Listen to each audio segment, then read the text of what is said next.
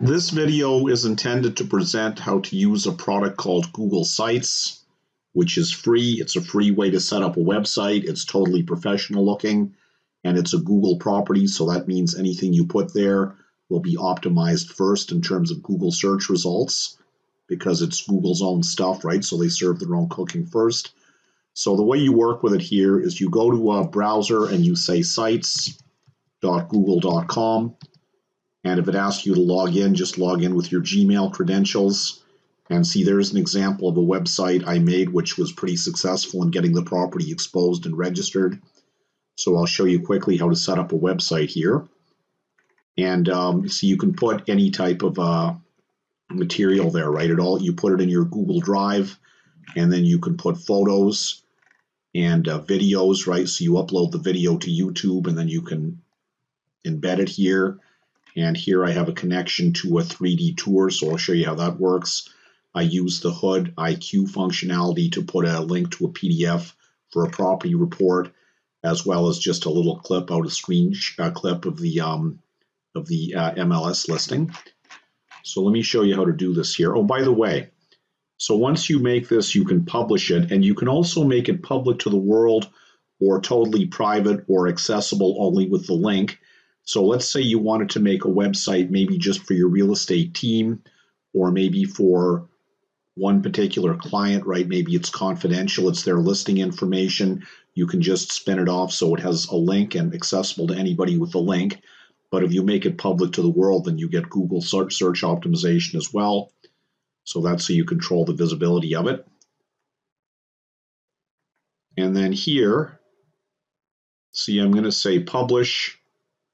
So get, and it's not giving me the option to publish because I haven't made any changes from last time, but I could say copy published link. And then if I wanted, I could go to a web registrar and I use GoDaddy. There's lots of nice ones out there. Just GoDaddy's the one I've been using since forever. And I could purchase a uh, URL, right? So in this case, I went for the name of the building, which was 33 Elmhurst. And then I just went in and did a redirect on it. So I went to DNS. See, so I said DNS manage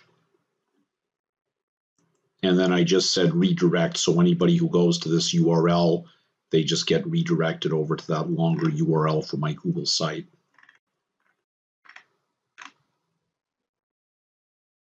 So manage DNS, see?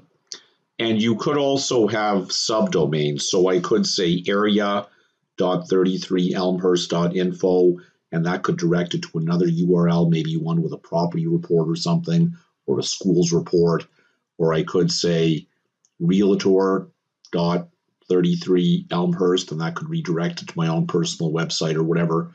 Just however you want to organize that.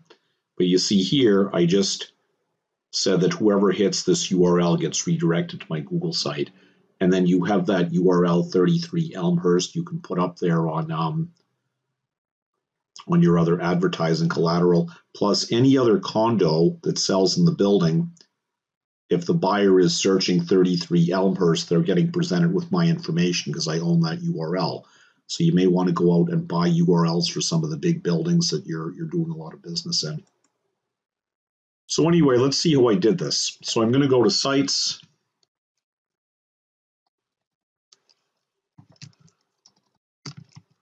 .google.com and see, see here I can say make a new site. So I'll say new site.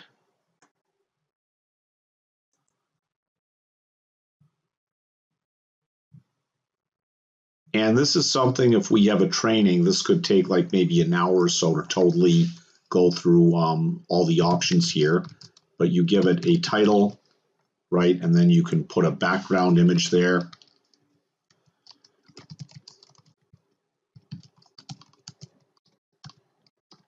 You could upload an image and, and put your image there, maybe an image of your real estate banner or something.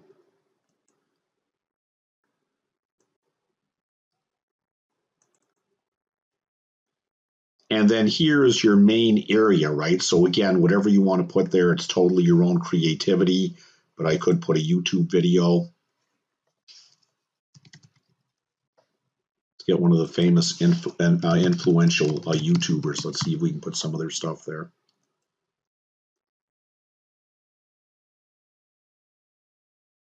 That was another area report I did from several years ago. So whatever, this has to be your own thinking and planning. That was some listing I did some time ago.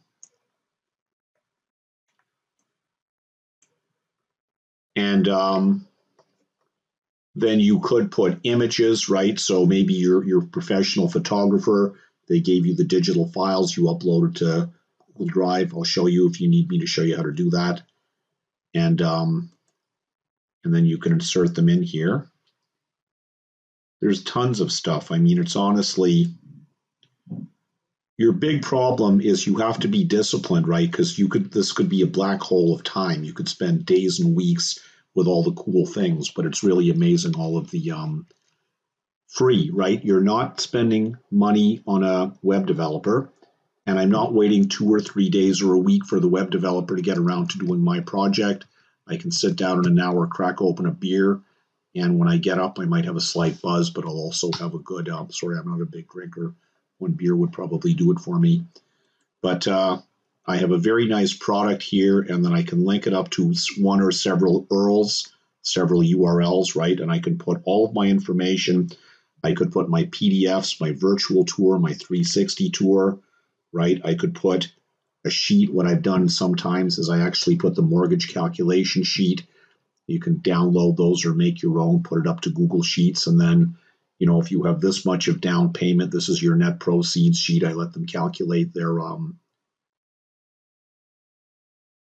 their uh, land transfer tax and all of that stuff right there. So that would be a Google Sheet or Docs or Calendar if you wanted the calendar for your open houses or stuff like that, right? Google Forms if you want to give them a form to send you specific questions or information, you embed it right in there.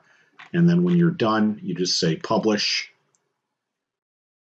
And then that becomes part of the user experience. That's the URL. So you could just put whatever you want it to be there. That was actually kind of an unpleasant experience. I found out later with 3205 Knobrook, as soon as I got three good offers, which I did in four days, they suddenly decided they didn't want to sell. And I found out later they were selling it to a family member within their family. They just wanted me to get them the uh, the price and what the market would pay. Oh, anyway, if you're going to be in real estate, deal with it. So here we're going to say publish. And then that's what it is, right? And then I have that link. I can go over there and copy it. And I could bring that over to my registrar and set that up. Right, and that becomes some URL that's available anywhere in the world. And anybody who um, anybody who goes and searches for that Oh, you see, it's asking me to log in, so I guess I did not make this URL totally public. So let's go and fix that again. We'll say share with others. And we'll say change. And we'll say anyone who has the link can access it. Oh, see, now it just has to be somebody in my own domain name, petersigurdson.net. So we'll say public site, anyone on the internet can find and open. That's good. So now we'll say done. And now let's check that again. Always check a URL before you send it out, right? So we're going to say copy the published link. We'll go to another browser like Opera that we're not logged into, so it doesn't have any saved information or credentials. And then, yay. And uh, That was a long while ago when I was with Remax, but anyway.